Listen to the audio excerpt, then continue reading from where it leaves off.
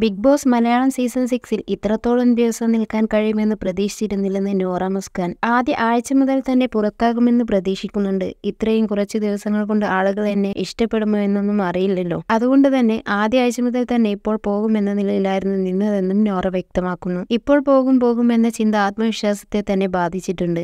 മൂന്നാലാഴ്ച ഞാൻ കുറെ കരഞ്ഞു കുത്തിരിക്കുന്നുണ്ടായിരുന്നു. ആത്മവിശ്വാസക്കുറവായിരുന്നു അതിന്റെ പ്രധാന കാരണം. പിന്നെ പെർഫോമൻസ് ചെയ്യാനുള്ള കഴിവ് ലഭിക്കുന്നതിന് മുമ്പ് തന്നെ പുറത്തായി പോകുമോ എന്ന ഇൻസെക്യൂരിറ്റി ചിന്തയും ഉണ്ടായിരുന്നു. എന്നാൽ ഒരു പ്രത്യേക ഘട്ടത്തിൽ അതെല്ലാം മറന്നുകൊണ്ട് ഗെയിം കളിക്കാൻ തുടങ്ങി. അതാണ് പിന്നീട് എനിക്ക് ഗുണം ചെയ്തത്. ഞാൻ സെൻസിറ്റീവായ ഒരാളാണ്. ഓഡിഷന്റെ സമയത്ത് പെട്ടെന്ന് ഒരു ചോദ്യം ചോദിച്ചപ്പോൾ തന്നെ ഞാൻ കരഞ്ഞു പോയിരുന്നു. കരയുന്നത് ഒരു തെറ്റായിട്ട് അവർ കണ്ടില്ല. കരയുന്ന ഒരാൾ എന്ന രീതിയിൽ എന്നെ എടുക്കാതിരുന്നതുമില്ല. ഒരുപാട് ഇമോഷൻസിലെ ഒന്നാണ് കരച്ചിൽ. ഞാൻ കരഞ്ഞാൽ അവിടെ തീർന്ന്. അല്ലാതെ ഇരുപത്തിനാല് മണിക്കൂറും കരഞ്ഞുകൊണ്ട് കൊണ്ടിരിക്കാൻ എന്നെ കണ്ണ് മുല്ലപ്പെരിയാർ ഡാമൊന്നുമില്ലല്ലോ. പിന്നെ അതിൽ മാത്രം മറ്റുള്ളവർ ഫോക്കസ് ചെയ്യുന്നതിൽ എനിക്കൊന്നും പറയാനില്ലെന്നും മൈൽ സ്റ്റോൺ മേക്കേഴ്സിന് നൽകിയ പ്രത്യേക അഭിമുഖത്തിൽ നൂറ വ്യക്തമാക്കുന്നു. കരച്ചിലും കരയുന്നവരും മോശക്കാരല്ല.